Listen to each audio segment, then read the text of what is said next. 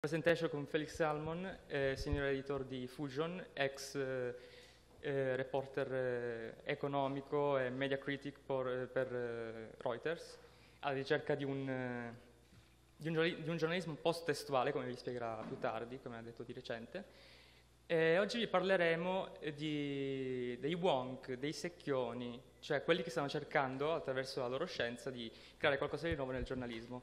Non so se qualcuno di voi ha mai visto Breaking Bad eh, o qualcosa di simile. Bene, eh, quello che stanno cercando di fare questi giornalisti è fare più o meno qualcosa di simile a Breaking Bad. Ossia, abbiamo un, eh, un secchione, un professore di chimica che cerca di utilizzare le proprie conoscenze per creare un nuovo tipo di, di metanfetamina, e un ragazzo di strada che sa come funziona il drug dealing, la creazione di, di nuove sostanze, creando un mercato del tutto nuovo, un nuovo tipo di metanfetamina, quindi un nuovo tipo di platea, un nuovo tipo di, di mercato, imponendo al mercato quindi un nuovo, eh, un nuovo prodotto, nuovi paradigmi. Il mercato è costretto a creare nuovi prodotti e questi, questa coppia di, di, spacciatori, di creatori di droghe eh, trovano il modo per sfondare. Quest'oggi appunto parleremo di wonk, nerd, i nerd applicati al giornalismo. Cosa stanno cercando di fare nel giornalismo? C'è questa tendenza americana, eh, portata avanti di recente soprattutto da Nate Silver, e con eh, siti come Vox.com, da Ezra, Ezra Klein, eh, c'è 538 di Nate Silver appunto, c'è The Upshot di recente di, del New York Times, che stanno cercando di creare qualcosa di nuovo attraverso appunto il loro mestiere da nerd, da gente che lavora sui dati, eh, cerca di renderli commestibili a, ai lettori, per creare un nuovo tipo di giornalismo, un giornalismo che sia più appetibile, che sia concorrenziale sul mercato eh, e che sappia vendersi. Eh, per usare un parallelo fatto da, da Jay Rosen, un, un, altro famoso media critic, immaginate di, avere, eh, di essere bombardati da pop-up di, di aggiornamento per un software che non avete mai installato. Bene, voi non avete installato questo software, magari non vi interessa, ma i pop-up continuano a inondare il vostro schermo. Questi pop-up sono, questa, secondo questa metafora, gli aggiornamenti di notizie. Se voi non avete seguito le notizie dall'inizio, ovviamente questi pop-up, questi aggiornamenti vi sembreranno fastidiosi. L'obiettivo di questo giornalismo appunto è far sì che questi aggiornamenti continui siano meno fastidiosi, più potabili, più eh, seguibili dai, dai, lettori che cominciando a appassionarsi a questo nuovo tipo di costruzione di notizie, fatto soprattutto per il web, per il digitale, attraverso testo, scrittura, video, infografica, cercano di educarli e creare appunto un nuovo mercato, così come per la droga in Breaking Bad. Eh, la domanda da fare resta solo questa, può funzionare una cosa del genere soltanto una bolla, così come dal, dal post scritto appunto da Felix Salmon che è un po' le, eh, la guida a questo panel, oppure sono destinati a fare la, la stessa parabola, a percorrere la stessa parabola dei due protagonisti di Breaking Bad senza offrirvi spoiler? Felix Salmon saprà spiegarcelo.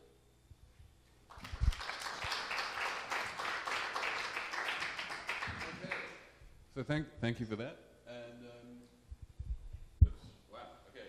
So, um, so number one, this is the single most beautiful place I've ever taught, and what you should really do is just pay no attention to me and just look at these gorgeous murals and paintings and altarpieces and everything around you, because that's where the that's where all of the really interesting stuff is going on. Um, so I um, don't really know what you're interested in. I'm going to talk for about 40 minutes or so, 30, 40 minutes, we'll see.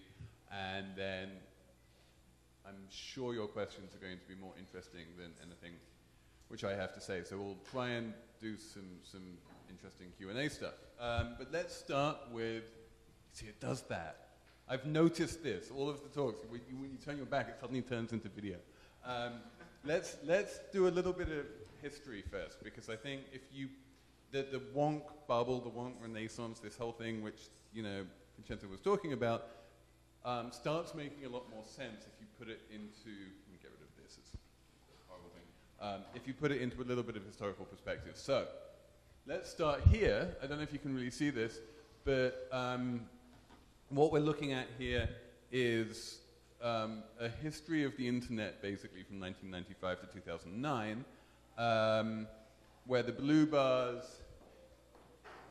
uh, well, basically, you know, the number of people connected to the internet starts at about um, 16 million people in 1995 when, when Netscape goes public, goes up to about 1.7 billion people in 2009, which is 25% of the world's population. And then after 2009, for the sort of five years since then, um, it kind of doesn't even make sense anymore to talk about being online or not being online. The internet is just a thing which surrounds us and we're always connected to, and everyone in the world has a phone and every phone is connected to the internet. And, you know, we're not quite universal. There are parts of Africa which, you know, aren't completely connected, but the idea that you, you know, the idea that the internet is a separate thing, um, I think has more or less gone away. It's just, a, just like, you know, it's asking a fish what water is at this point. But the point of this is that we have been a mass medium. The, the, on, the internet has been a medium for mass communication for a good 15, 20 years at this point. That even way back when we have that tiny little, tiny little bar in, in 1995 there with 16 million people, that's 16 million people, which, you know, if you have a newspaper in Italy with the circulation of 16 million, that's mass media. So, um, you know, we, we have astonishing numbers here. And we've had those astonishing numbers for a long time now. But what's interesting is that we haven't really been doing anything web native for most of that time. So we were briefly. So very early on, so at 95, 96, around there, um, you had this web native content. We have this site which you might have heard of called Wikipedia, launched around then. Um, you know, it had links. Everything was was based on, uh, you know, using the hypertext protocols to do things which you couldn't ever have done before, crowdsourcing and all of these amazing ideas which were completely new. We had online publications like Suck.com, which again were based around the concept of the hyperlink and the and the idea that you could have individual voice and write in a way that was inconceivable um, on in, in print or in any other medium. And there was a feeling, if I don't know how many of you were online in those, in those days, but there was a feeling that there was something very new here and very exciting. And that feeling didn't last long. What happened is that we wound up being sort of the juggernaut started rolling in. So this is the first homepage of the New York Times. This is the original nytimes.com. And the rules of the internet, which had been laid down and were incredibly intuitive and sensible, you know, as, uh, you know, which, which were more or less invented by Tim Berners-Lee and people like that, basically got broken. Um, so this page, this, you know, it is a page, was the homepage of, of New York Times.com, had no text on it. It had no links on it. It was just one image. And all of those things which looked like words were not actual words. You, if you went into the page source, you wouldn't see any words. You would just see an image. And then depending on where you clicked on the image, you would go to a different story or a different section. And then when you went to that story, the story would have no It wouldn't be connected to anything. There was nothing web native about this at all. It was basically a way of taking an old-fashioned printed newspaper and making it harder to read by putting it online. And you couldn't tell anything from the URL structure, and you couldn't search it well, and basically everything um, broke around around this time. And it took a long time. So you know, so so what what you had was the content remaining the same and the means of distribution changing, which made sense to the publishers because the publishers would say to themselves, well, we have loads of advertising revenue, but most of the advertising revenue we wind up spending on printing and distribution costs because it's incredibly expensive to do, you know, to print and distribute newspapers. This is this new medium is amazing because printing and distribution costs are zero, so we get to keep all of, all of our advertising revenue and not spend it all on printing and distribution. We wind up making a fortune. Our profit margins go to the roof, and we're all going to be billionaires. And it, you know, this was, this was the dream of, of the internet, and so they didn't really think about how to optimize their content for the web. They just said, well, let's take our content and distribute it for. Because, you know, then we'll sell the ads, and instead of having to use the ad revenue to pay for distribution, we'll just take the ad revenue and put it in our pockets and we'll make a fortune. So that, as we know, didn't work for reasons which I'm sure I don't need to rehearse. But, it, you know, it was basically, it was, it wasn't until 2001 to 2003 or so that we started getting genuinely native, web native content really coming up. So this was, this was the era of the blogs. This was when you had um, movable type, um, followed by you know, various other um, blogging software platforms. They were quite hard to use. I remember I tried to install movable type myself and it was non-trivial.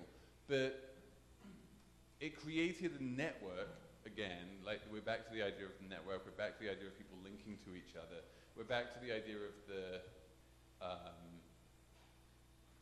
the fundamental thing that you do on the internet is link to things and people rather than just uh, try and monopolize traffic for yourself.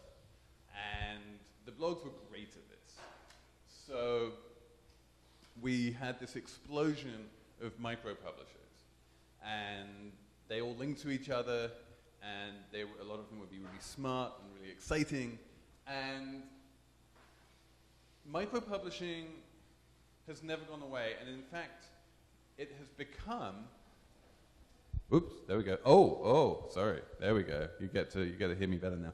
Um, micro-publishing has become complete universal now. So Arianna Huffington said something very interesting once the, once the Huffington Post really started getting going. She said that self-expression is the new entertainment. People really love to be able to express themselves online. And this is something which is going to, if you allow people to express themselves online, then they're just going to come back and come back and, and, and be incredibly loyal to you. And so in the early days of blogs, you would have the bloggers expressing themselves online. That was hard blogging was difficult to, to set up, technologically speaking. Um, then you had companies like Six Apart um, and, uh, you know, Blogger trying to make it easier. You then um, had the comments sections of places like Huffington Post, which became incredibly vibrant and popular. Daily Kos, places like that. There, there, anyone who made it easy for people to express themselves online generally did very well on the internet around this time. Um, and ultimately, where we wound up was with Facebook and Twitter, which are platforms which are really just platforms of self-expression, and they make it super easy on your, on your phone, and you just press a button, or Instagram, you know, and it's done. I've taken the photo, it's shared. This is my kind of self-expression. It's super easy. You don't even need to know how to type. And, um, and that's wonderful. It's, it's incredibly democratic. And it's turned everybody into a publisher. And it's turned everybody with a Facebook account into a publisher. It, it, so, you know, my homepage for the internet is, is twitter.com, basically. That's where I go to get my news. It's where I go to find interesting things. It's where I go to know what's going on in the world and to find people who can explain what's going on in the world to me. And it's where I go to interact with other people. Everything happens more or less through my TweetDeck. I don't need to go to Huffington Post. I don't need to go to the New York Times anymore. I don't need to go to individual blogs or, you know, laboriously go down the blog roll or click down my list of RSS feeds or do whatever I needed to do because I have this beautiful stream that just brings it all to me. It's incredibly effortless. And, but, let, but, but you know, so, so what we have is this, is this democratization of the of, of, finding and sharing content. So that that whole role has now been largely taken out of the hands of the publishers, which is scary to them because it means we've lost the bundle, and we'll come, that, come to that in a second. Um, but before I do that, it's worth noting that, well, I think we have a, a timeline here. What you know, this is what this is what I've been talking about. You start in the mid '90s with the web native innovation of Wikipedia and places like Suck.com, and then you know the big guys start coming in, Pathfinder, you remember them, and New York Times, and people like that, who just kind of Bigfoot their way onto the internet without really understanding how the internet works, and pushing a bunch of content which doesn't feel very web native, and and then what happens, interestingly, between 2003 and 2009 is that the blogs come along, the blogs become um, very popular, and the legacy media starts going, oh, we need that. We need blogs. And so people like me get hired. So, so in 2006, I was hired by Portfolio, Condé Nast Portfolio, 2007. 2007, I was hired by Condé Nast Portfolio, which was this very glossy uh, business magazine, which wound up burning through about $100 million in the space of two years. And they said, you know, and they, and they said, we need an internet thing, you know, some kind of website. We need a blog. So, Felix, you can be the blogger. So just go off in the corner and link to things. And so, I, and, and, we need a website. So they create, they bought portfolio.com and they would, they, they, they set up a whole editorial structure of people who would write for the website. And, you know, the people who wrote for the website were a little bit lower second-class citizens compared to the people who wrote for the magazine. And, um, and, and they were absolutely not encouraged to be linking to people or anything like that. The, the idea was that, that you would create this amazing content on the website, and people would come to the website and they'd read it, and, and then you could sell ads against it. And when someone like me would come up to them and say, but you need to be web native, you need to have links, you need to be part of the conversation. they'd say, ah, yes, well, we have the blog. You know, you're our blogger, so you can do that. And then everyone would do this. The New York Times set up dozens of blogs. The New York Wall Street Journal set up all these blogs. Everyone decided they would set up a blog.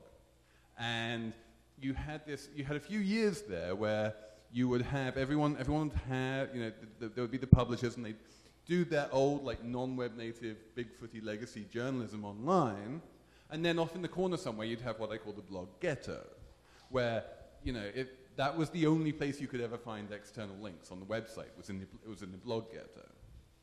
And what happened, you know, first at places like Huffington Post, and then more generally, is that the bloggers started getting more respect, they started getting more traffic, they started making their way from the blogs into the um, mainstream organizations. They started getting paid the same, first the same as, and then even sometimes more than the journalists at the legacy organization. They started getting more power. They started getting older. They started becoming managers. And eventually, the bloggy sensibility of we shouldn't just copy what other people are doing, but we should just link to it and explain it and add to the conversation and that kind, you know, you, you know, have lots of external links, put external links on the homepage, basic things like that, started filtering through into the organization as a whole. So that, so then you get, so, so that, so what I have at the end here, 2009 to 2013, is what I call the, the product manager era. So what that is, is that you've incorporated bloggishness into your, into your product as a whole. You started hiring people with, these, with this wonderful job title called product manager, which didn't really exist um, you know, in the mid-2000s. And, and, they would, and they would do things like, you know, SEO optimization, you know, or, or they, would, they, they would do things once Twitter and Facebook started taking off, you know, to they put share buttons on things and try and optimize the social and, and this kind of thing. And they would, they would see everything as a product and then they would try and make the product as, as web friendly and social friendly as possible because that was the way to maximize traffic. And, you know, for the whole period here and for the foreseeable future as well, with a few tiny exceptions, the model is always, you know, we want to maximize traffic because, because everything is sold on a CPM basis, and so what we need to do is, is, is, is maximize the number of page views and uniques because that's where the marginal extra profits come from. And I can go down into the rabbit hole of the economics of publishing and why that model doesn't really make sense, which I won't because we have more interesting things to talk about. Um, but that's, that's where we got to up until around now. We are in this place where we have the new homepage, which is social. Um, we have content which, you know, you have websites like Viral Nova or um, Distractify, which can come up from nowhere and become enormous more or less overnight. We are in a world where if you're good at what you do and you have a brand name, that gives you an enormous advantage, but it's not necessary. So if the New York Times launches the Upshot or if the Washington Post launches Know More, that really helps because it comes from something which is respected in people, you know, especially the older generation um, really put some weight in that. So it, it's helpful to have that brand, but it's not necessary. Um, but what you don't have anymore is this era of being defined by the legacy bundle. And if you look at legacy media, there are two things which really define what you had pre-web. Number one is that you had the bundle. So you have the New York Times, all the news that's fit to print. You have your evening newscast at 10 p.m. on the television where they start at the beginning and they have their stories and they go through to the end. And then once you've finished it, that is what you need to know. And it's a bundle, and the bundle has to be exhaustive. If something important happens in the world, then it needs to be in the bundle. And it's your job as the editor of the bundle to make sure that everything important that you need to tell your audience is in that. Um, that leaves obviously less space for sort of interesting idiosyncratic stuff which you're doing on your own. And then the other defining feature of the bundle is the periodicity of it. Um, it will come out every day at the same time, or every week at the same time and you start with a blank page or 30 minutes of blank airtime. And you, you say to yourself, well, I'm publishing a newspaper and I published a whole bunch of stuff in the newspaper yesterday, and now I have to publish a newspaper tomorrow, and I need to publish a whole bunch of more new stuff in the published in a newspaper tomorrow. That's why it's called news. And that's published, and the stuff that I publish in the newspaper tomorrow cannot be the same stuff that I publish in the newspaper today because people would feel ripped off. And so you, you, you wind up on this hamster wheel of producing vast amounts of new content just because you have this space to fill. So that, you know, and so, and that's why it can be, it can feel weird to try and open a newspaper if you haven't been following the news for a while and, and, and try and understand what it's talking about because it's, it's just stuff which happened in the last 24 hours and it doesn't put things in perspective and it doesn't put things in context and it's confusing because it's designed for people who consume the same bundle day after day to, to sort of be able to follow things as they go along. But it's, none of this makes sense in an online world. None of this makes sense on, uh, you know, on the web. So where we're going, and this is, and this is where I'm you know, coming back to this idea of what happened in the early days of the web and you know, Wikipedia and Suck.com, is that we're going back to something which is web native. We are losing the bundle because bundles don't matter anymore. The links go straight into, deep into the content. They don't, people don't link to home pages. We're losing the bundle, we're losing, and we've lost the periodicity. So if I publish something today, it stays up in perpetuity. I don't, you know, it's, if I publish it today, I publish it tomorrow, and I publish it the next day, and I, you know, I can update it. This is, this is really, um, this freaks out journalists, by the way, um, partly for good reason. The, the idea that I can go back and update a story which I wrote last week or last month or last year um, is obviously good for the reader, because it means that they get up-to-date content and but it's also you know the, the, the, the, stewards of journalism schools and the, and, the, and, and the media ethicists get worried about this because they're saying well you know if you change something then people who quoted you before You have to, you know, track changes. Wikipedia. There's, there's, there's problems with this, but the point is that what you want to do is really work for the reader. You want to give the reader what's best for them, and so if what's important in the world is, you know, say Ukraine, if I want to explain to you what's going on in Ukraine, there's a number of things which are really important which I need to explain to you so that you can understand what's going on in Ukraine. And those things don't change from today to, to tomorrow. But if I buy tomorrow's newspaper and look at Ukraine, most of what I'm reading about is just the delta. It's just the difference between what happened between today and tomorrow, which is incremental and not interesting and not important. And it should really be down at the bottom of the story somewhere or somewhere in the middle. And instead it's all of the story, or it's certainly the top. So what you want in a web world, and this is, this is you know, one of the things that Ezra Klein is talking about over and over again at Vox.com, is that you want stock as opposed to flow. You want to give people the important story and then update it as necessary as news happens. And use the news and use the fact that you're reporting the news to make sure that you know what you're talking about and you can update that story. But still, if I come along to Vox.com and I want to find out about Ukraine, what I see is the Ukraine ex explainer with the important stuff at the top. And then the other great thing about being digitally native is that because online there's no such thing as the average user, you can, you can, you can go into a lot of depth and people can follow you as much as, as, as deep down that rabbit hole as they want. This is, you know, it's, it's what I call here the digital version of the inverted pyramid, that you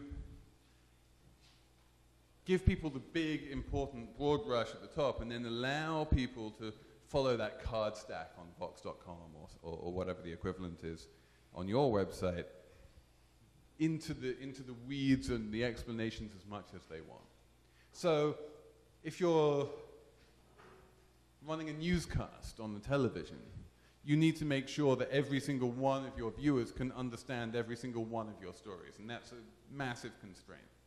And similar with newspapers, they don't want to alienate their readers by printing stuff that many of their readers don't understand.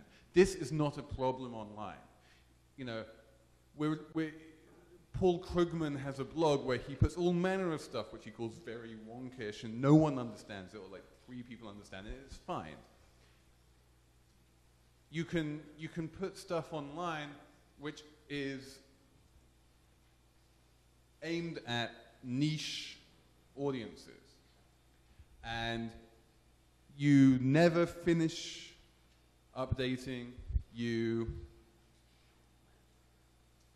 can create lots of hyperlinks. One of the other great things about what's online is that it's, the, web has been completely embraced by the academy. So the real experts in academia, um, in the government, in non-profit sectors, everything they do is online. Everything they do is free. Everything they do can be linked to, and that gives people who want to explain the world the, the richest, most wonderful way of doing so. It's something which could never be done in old, in old media. It's a very new media thing to be able to do. It's a very web native thing to be able to do. And this is why that now that the web, like now that media online is becoming truly web native, that's why we're seeing this wonk renaissance. Because what I'm talking about here is explanatory journalism. What I'm talking about here is putting the world into context. What I'm talking about here is, frankly, journalism, but it's journalism done in the way that it should be done rather than done in the way that we had to do it because of the constraints of the media that we had before, right? So, you know, we, we had this problem before that the we always had to be new tomorrow. And we had this problem before that we had to be exhaustive. And we had this problem before that we needed to bundle everything up into something which is accessible to everyone. And we've lost all of those problems, and we can now explain the world in a much better way. So that's why the um, wonkosphere is, is, is emerging right now, if you will. So we have all of these sites coming up. Um, Ezra, you know, had his site at Wonkblog. They've existed for a while at Atlantic cities and places like that. Um, and all of them are kind of, you know, I don't, they, they, they, some of them look at the world in slightly different ways. I know most of these people, I've talked to them about it, they don't always agree with each other, but broadly they do. Broadly, they're all agreed that the potential of journalism today is amazing because you lose the constraints which were frustrating and you gain the ability to do things which just make sense and which you always wanted to do if you were journalist but never could before. So you get to link to people and you get to be very generous with who you link to because the more you link out, the more that your readers come back. And you don't need to keep, keep everyone to yourself. You don't need to try and explain the entire, entire world yourself. You can say, well, no, this person has worked, has worked it out. Go read this person because this bit of what I'm talking about is best explained over there. And, of course, you don't need to do everything in text anymore. The things which are best explained in text can be explained in text. The things which are best explained in video can be explained in video. The things which are best explained in animations or data visualizations or graphs or charts. One of the great things about Know More, and it's, you know, No More was launched with an employee of one, basically, Dylan Matthews. Um, and it went from zero to three million uniques in about a month. It became the hottest property at the Washington Post. And the reason was because he understood the power of the chart. You know, Ezra kind of invented this idea of blah, blah, blah in one chart. And it's super powerful. Charts are incredibly powerful. Images are incredibly powerful. Animations are incredibly powerful. And you get to explain, you get to start with what you know and then express yourself in whatever way is most effective, including the good old-fashioned. I'm just saying, go, you know, here's a PDF which has been put out by this organization, read this. Um, so that's the promise of what I'm, what I'm calling wonk journalism, um, the wonkosphere, that we have finally managed to transcend the constraints of the news. Um, we are, by the way, and this is important, parasitical on the work of shoe leather journalists. We still need people out there discovering what's going on and reporting on what's going on and saying this is what is happening in the world right now. Everything that is done at these sites requires the general infrastructure of broader journalism to exist. So that's important to remember. But these sites are great because they can put, they can collate everything, curate everything, aggregate everything, put everything into context, explain what's going on. And they can do it at a surprisingly low cost. Because even if people like Nathan, Ezra, and David Leonhardt are expensive, which they are, they also don't require the kind of resources that traditional journalists require. They don't require uh, massive legal teams to protect themselves from libel suits. They don't require huge travel budgets to send them into war zones. They don't, you know, you can more or less do all of this from the comfort of your own home in your pajamas. I mean, it's still kind of bloggy in its own way. And there are a few companies like the New York Times, like my company Fusion, which are willing to put a bunch of real resources into creating the interactives and the data visualizations, and those things can be quite expensive. But overall, if you look at page view, you know, the, the number of page views or the, uh, or the number of words written or just the amount of stuff that gets done per person per year. Wonk explanatory journalism is actually much more economical than most journalism because you don't have all of that, well, I need to strap on my shoes and go to where the news is happening and find out and report it and go through layers of editors and lawyers and all the rest of it. So it's, it's reasonably economical. It's much more valuable to the reader because they actually understand the world much more than they used to. Um, and it just adds this layer of context to the news, which I think the world has been sort of crying out for. And then the other thing, of course, that it does is it adds voice and attitude. And it gives you the ability to just be human and be yourself. And I think one of the things that started with sites like Suck and are becoming much more common today is that you are not just allowed but encouraged to develop your own voice and to develop your own following and to become a little bit of a brand in and of yourself because that way lies the kind of relationship that the web is built on. That this kind of these these these, these big forbidding bastions of impartiality uh, are becoming a thing of the past, please God. And we're, we're entering a much more heterogeneous and lively kind of world. So that's, that's my big thesis, that the, that the reason we're seeing the, the Wonkosphere exploding is because we've finally reached the point at which people are embracing web native publishing rather than simply trying to transfer what they used to be, be doing online. And if you ask me where we're going, I think what I'll say is that these tools, these techniques, are going to make their way increasingly into the rest of the news file, much as the bloggish sensibility did a few years ago. And, and that pretty soon, this idea of wonk journalism as being separate and distinct from every other part of journalism, if we go forwards five, ten years from now, that's going to seem weird because everyone is just going to be doing this as a matter of course. I hope. Anyway, let me, let, let, let me stop there and see if any of you guys have some questions.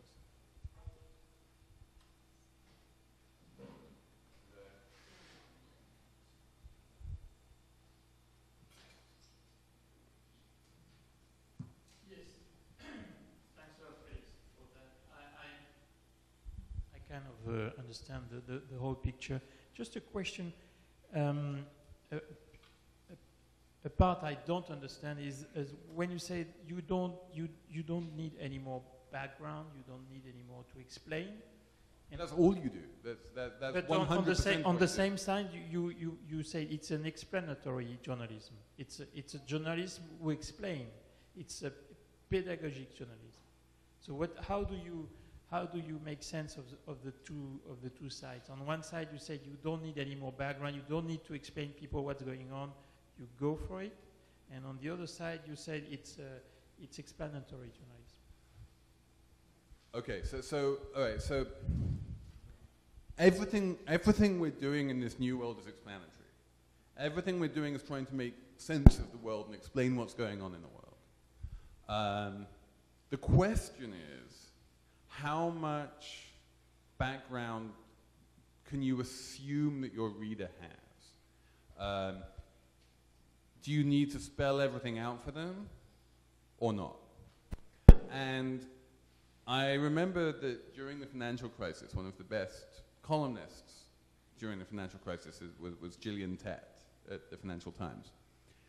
And she would write this series of columns about the risks being posed by synthetic collateralized debt obligations, which are these big financial instruments which wound up blowing up and destroying the world. And they were very important and very interesting columns. But they were also incredibly frustrating columns to read because they were all 1,200 words long, and the first 900 words was Gillian carefully explaining to people who didn't know what a synthetic CDO was. And then finally, in the th last 300 words, she gets to try and squeeze in the point of the column and the point that she's trying to make. And that's just stupid. That kind of, you know, copy and paste the same explanation each time you write the column is insane. You don't need to do that when you're online. You don't need to work from the assumption that your reader doesn't know what you're talking about because you can take that explanation, it can sit there permanently, or you can just bury it in the hyperlink, or you can put it in a Vox-style card stack, or you can do whatever you need to draw attention to the thing which you're trying to say, those 300 words or more now that you have the space for it. You can go into much more detail about what you want to say, and you can allow the people who need the extra information and context to be able to find it because, because it's all there in perpetuity.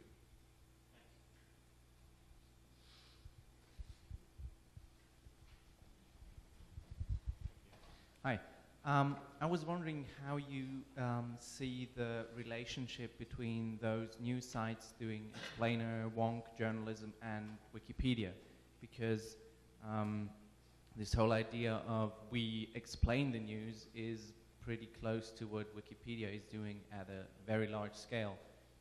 Um, this the first question. The second one related to it. Wouldn't wouldn't that be kind of the same thing that you described before? That Wikipedia being something very web native, and then media companies coming in and doing something similar, but not that web native in the sense that they say, we will do like the, the luxury product of Wikipedia and don't let everyone uh, contribute to it? Absolutely. And, and 100% yes. So, so a lot of people have tried to create a Wiki News product um, with limited success. Wikipedia is okay at covering current events, but not great. It's very, like, crowdsourcing works great if you're covering a subject which isn't dynamically changing in real time. It's much harder to do it if you're dynamically covering it in real time. But Wikipedia, Wikipedia is an in incredibly important resource for all journalists.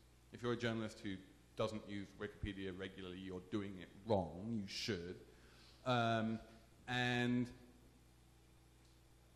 it is a model for how to explain the world in a stock versus flow kind of way. You know, it's all about the stock. These are static pages which get updated over time.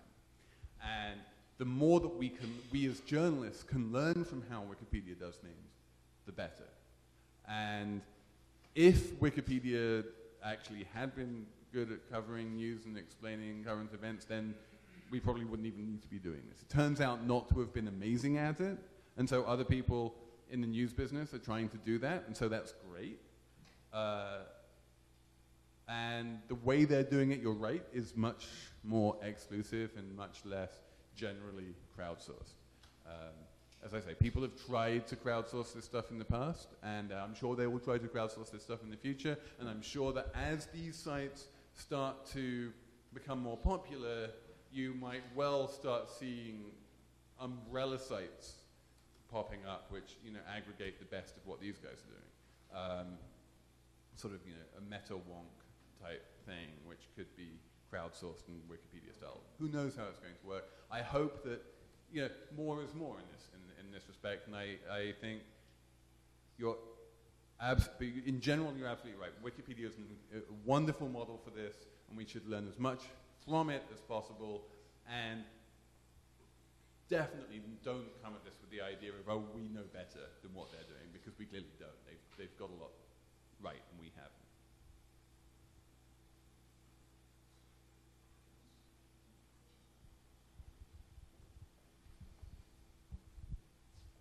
We're talking about the, uh, the, the, the, the, enormous amount of news and stuff and content that we have on the internet. But uh, it seems like they, they're growing and growing year, uh, year after year. And um, you said uh, each and every time a newspaper has to, you know, put new things on a newspaper because it's like a blank page. You have to start from the beginning and put new things. But it looks like we're going to an era where we, we, we actually don't need that many contents. It's like why there is like thousands of newspaper, what are thousand of news that most of the time are the same news, most the same source, just repeated time after time. So you're saying uh, we, we need to change the way we express with, with different ways, like images or infographic and stuff like that. But still, do we need so much stuff? So the history of legacy media is the history of local monopolies. You would, you would have local television stations which would be the main news source for a certain population. You'd have local newspapers, which would be, you know, news got carved up along geographic grounds. Uh, and not just between countries, but also within countries. So the newspaper you read up here in Perugia is going to be different from the newspaper you read down in Naples. And the, that makes no sense online. Uh, you want local news, and local news won't go away. But there's no particular reason why, you know, the Neapolitan newspaper should cover what's going on in Ukraine any differently than the newspaper in Madrid. So except for the language. That would be a difference. um, but yeah, so, so you still have language differences and you still have national differences. I think you're still going to have very different media worlds between countries. But within countries, you have massive amounts of duplication going on.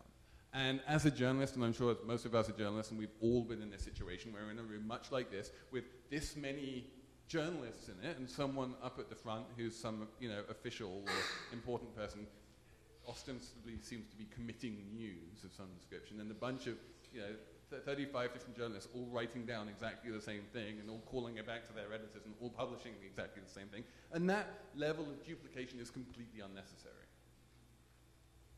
And it will be much better served, the world will be much better served if those 35 journalists are all off finding really good, juicy individual stories and publishing those instead of just repeating what each other are saying. So we can cut that 35 down to four, that would be awesome. Because then the other 31 can go out and do great stuff. We don't want to go down below four. We don't want to go down to one or zero because that is dangerous. But as long as you have a certain, you know, a, a little level you can have a little level of duplication is good. A little level of redundancy is good. But the massive over redundancy that we've had, where everyone is writing exactly the same thing, is stupid. And we, we really don't need that.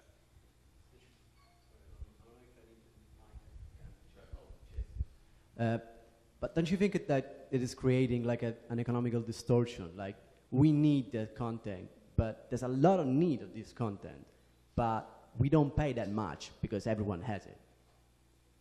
Like in, in, in it, if you're working as a journalist, most of the time you have to produce content for a, a price that it's, it's going lower and lower because I don't think they really need it because it just, they need it because they have the platform, it's free, the platform is big and you can put everything in it easily.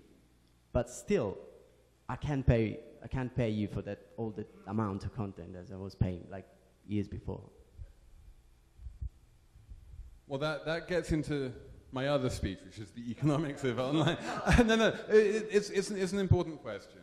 Um, I, would, I would simply remind you that no one ever no one ever in the history of the world has ever paid for news. It's not something that people actually pay for. They do pay for, they have historically paid for um, the printing and delivery of physical newspapers, or at least part of it. So if I subscribed in the past for a physical newspaper, my subscription fee would cover part but not all of the cost of actually taking those dead trees and shipping them to my house. Um, and similarly for the television, you know, I, I, could pay for some of those transmission costs and stuff. But the news itself has never actually been particularly valuable. There's been a couple of um, exceptions in the world of finance. Um, but that's about it. And occasionally in the world of sports. But that, and one of the reasons why there are so many sports newspapers in Italy is precisely because that's the one thing that people are willing to pay for. Um, but you're absolutely right. The, the, the economics, if you want people to pay for news, and asking people to pay for news is actually a really good business model, and I thoroughly approve, and let's go out and do it, then what you need is precisely that unique content. You need to be one of those 31 people going out and finding new stuff that no one else has, because then you have stuff that people are willing to pay for. And you're absolutely right, that people are not willing to pay for commodity news, which everyone else has. Yes, again, Felix. Question on um, something, you, something common to all the websites you mentioned, and you didn't, uh, you didn't talk too much about it, is the fact that for um, 538, for Upshot, and for Vox and for Fusion, there will be a lot of algorithm, data visualization, uh, statistics, and, and which are very expensive, by the way, and, and very tough to do. You didn't mention it as, as something um, um, common to that. So yeah, so this is this is part of going web native. Um, the the web can do data visualizations much more effectively than any medium in the history of the news, and that's fantastic. And you're right, it's expensive, and one of the reasons why it's taken this long to get here is that the web operate, you know, online news operations have generally not had the budget to do it up until now.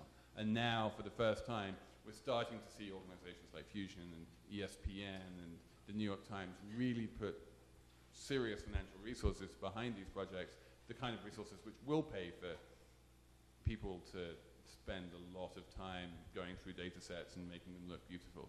Um, it's an incredibly rich opportunity which we've only just scratched the surface of and I can't wait to see where it goes. But yes, it's, it's, it's, it's one of the great areas where you can do things online which you just couldn't do before and the, the potential is enormous.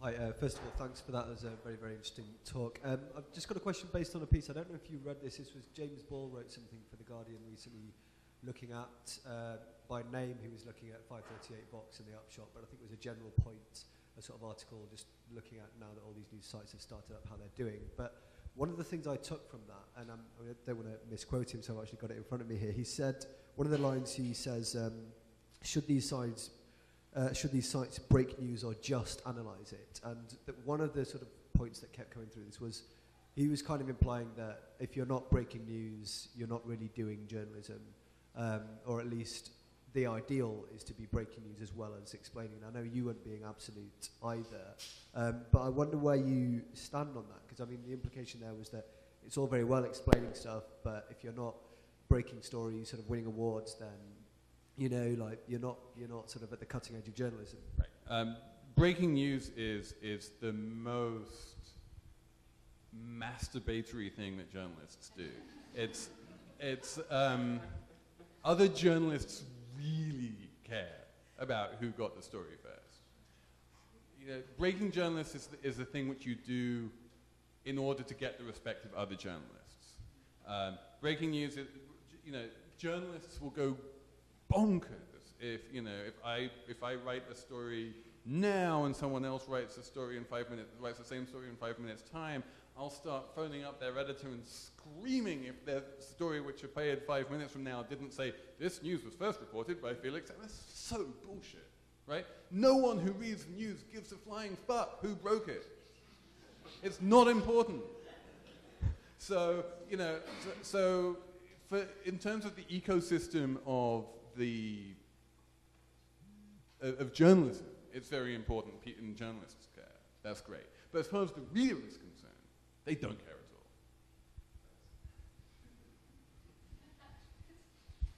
Eh, io la vorrei fare in italiano, non so se qualcuno può aiutarmi. Ecco, perfetto. Ok, grazie. Eh, rispetto a questo giornalismo che abbiamo definito low cost, c'è il rischio che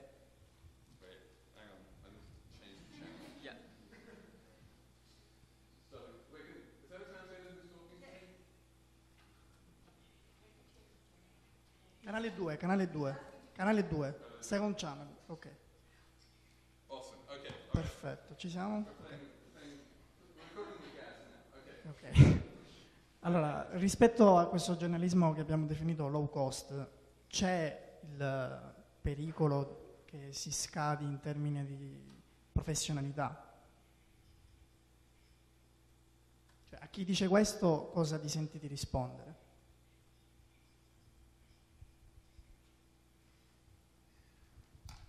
Ah, yes. Well, yes. Um, the, the if someone is if someone does something and isn't paid for it, they're an amateur, and if they're an amateur, they're not a professional. Um, and if you look at the blogosphere um, from you know in its early days, 2003, 4, 5, 6, most of it was was amateur.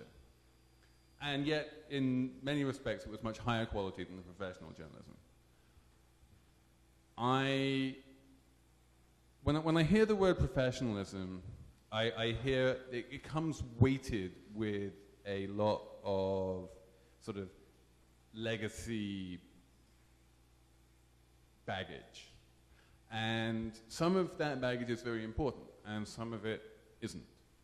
And I certainly don't feel that something cheaper is therefore likely to be less useful to the reader or lower quality. Um, the correlation between price and quality in terms of on- online content is basically non-existent. Just you know, there, there's the most expensive news is the television news, just because it costs a lot to create television news. But that doesn't make television news the best news. It doesn't make it the most important news. Um, you know, it doesn't even make it most likely to break news. Television news actually almost never breaks news.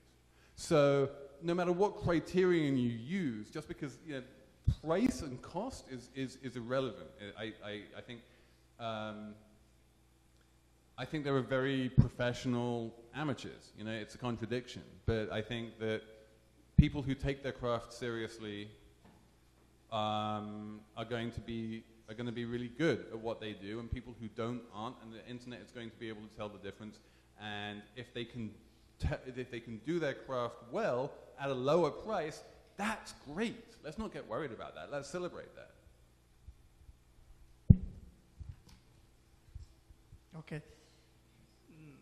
Però eh, rispetto al termine che ho utilizzato non mi riferivo tanto eh, diciamo al, al costo del- dell'operatore o alla qualità, cioè che tipo di formazione ha un giornalista online o comunque un giornalista che vuole in un certo senso distaccarsi dal, dal media tradizionale.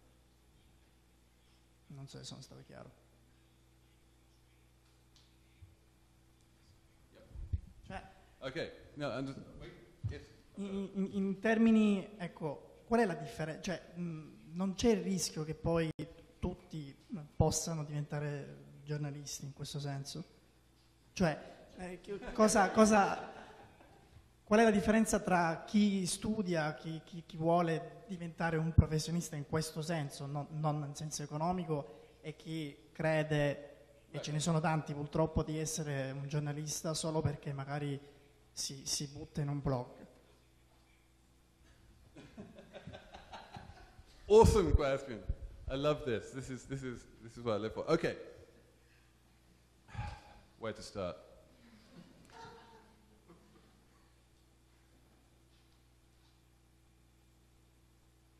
Journalism school is a waste of time.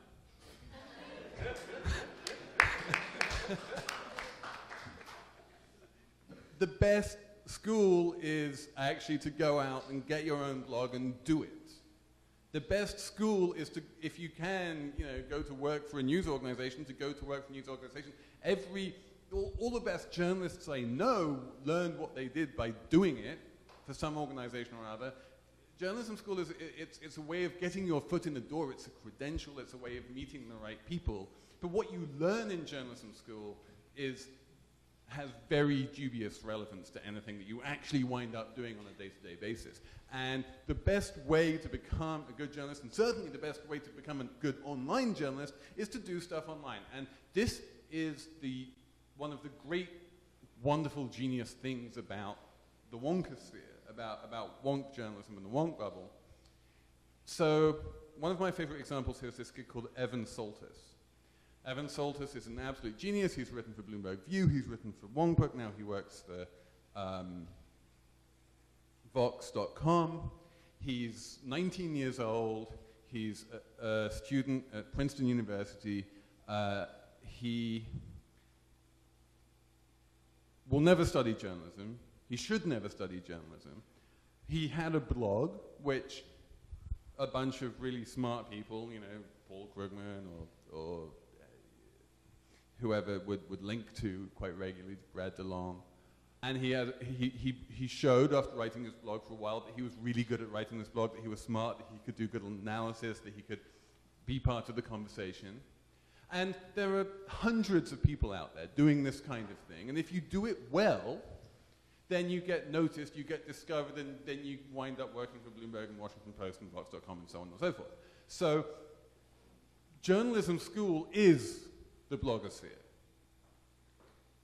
It's a much better way of going to school than sitting in a classroom and listening to some 55 year old telling you about how things used to be done in 1974. The, the quality has never had a better opportunity to rise to the top. You don't need to be in New York City or in Milan or in Rome. You don't need to know the right people or go to the right universities in order to get discovered, in order to get noticed, in order to get a job. You can just, no matter where you are on the planet, if you have an internet connection and you can think clearly and you can write clearly, you can prove that you're a good journalist and, and get a good job that way. And this is a much better way of organizing things than getting a whole bunch of kids to sit in the classroom and then give them grades at the end of the year. That doesn't help. So, you know, do I worry that bloggers think of themselves as journalists? No, I'm extremely excited that bloggers think of themselves as journalists because that's where the next generation of journalists is going to come from.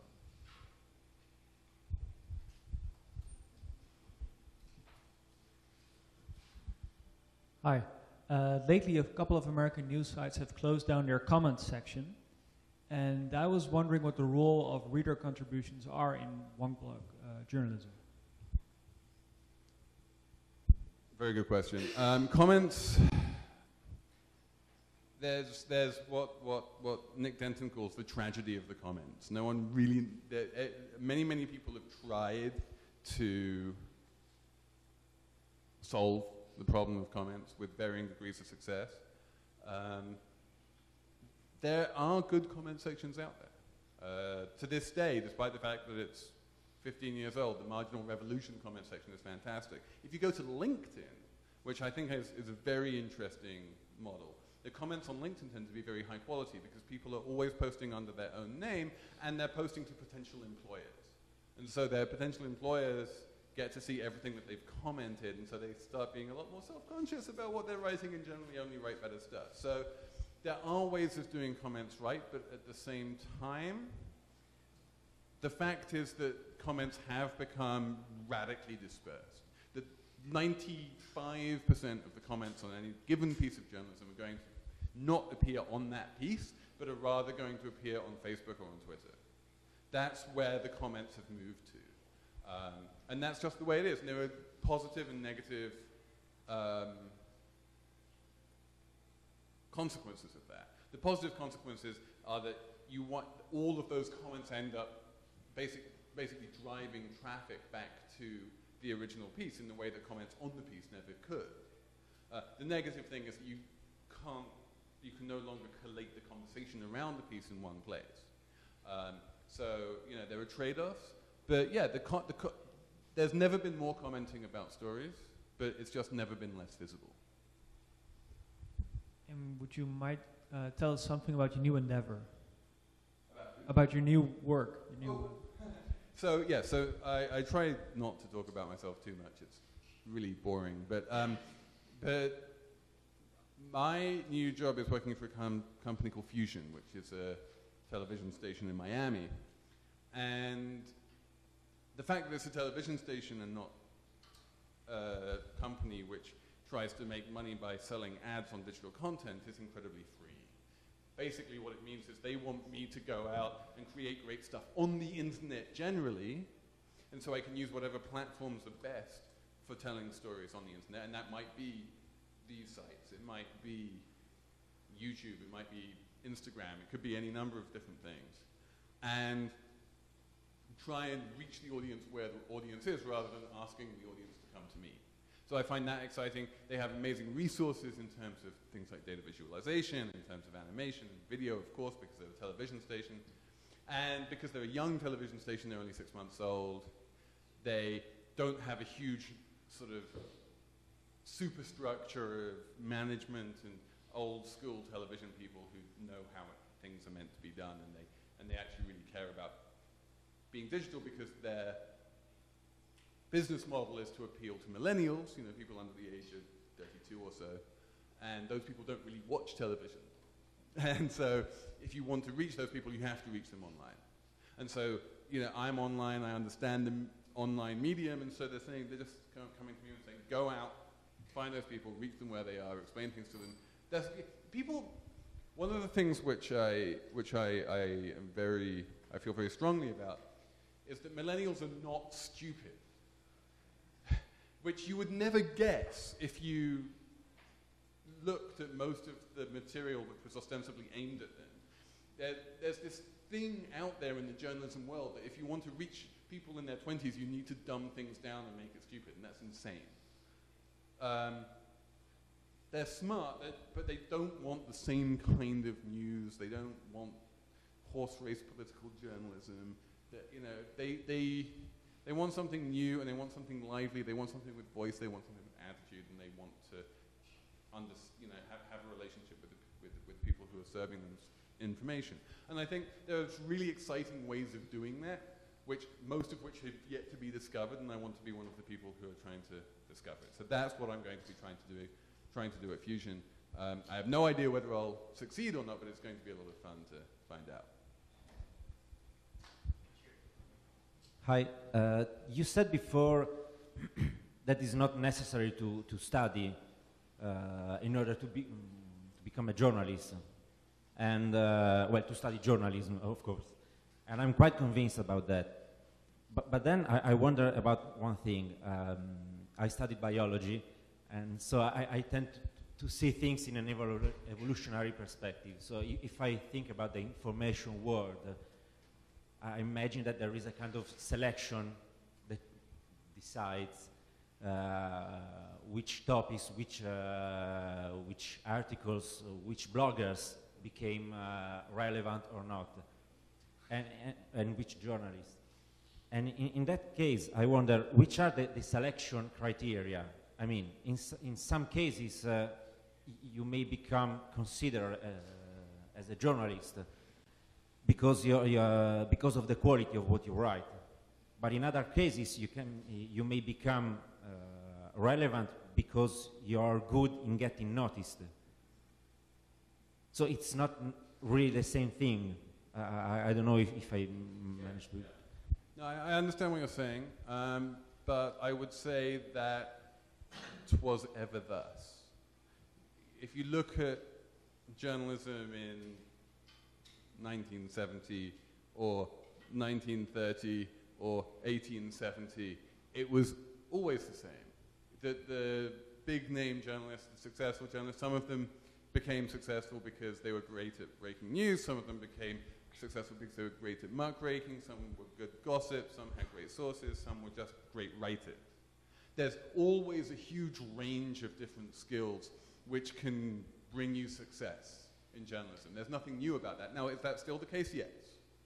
Um, and that's great, I would say. You know, but yes, you're absolutely right. There's a lot of different ways. And, and there are journalists who are going to become successful who you are going to sort of sneer at a bit. And that's fine, that's good. I'd be worried if that wasn't the case. Very stupid question, but why is it called uh, wonk journalism? uh, I have no idea. uh, I, um, well, I mean, Ezra, Ezra called his blog Wonkblog.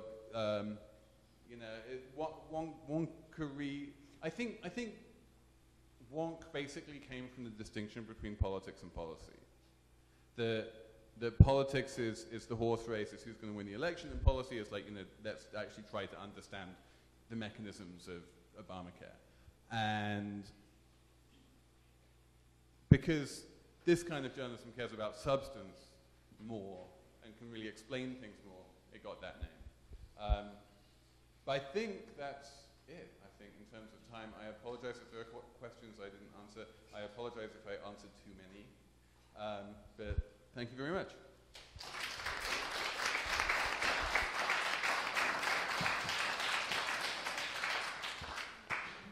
Prova. Ok, io vi ricordo che se vi interessano questo tipo di temi, Marchettone, sul sito del, del festival per tutto l'anno, ogni settimana curiamo una rassegna in cui si parla di questi argomenti e spesso sono citati articoli del nostro speaker. Grazie a tutti.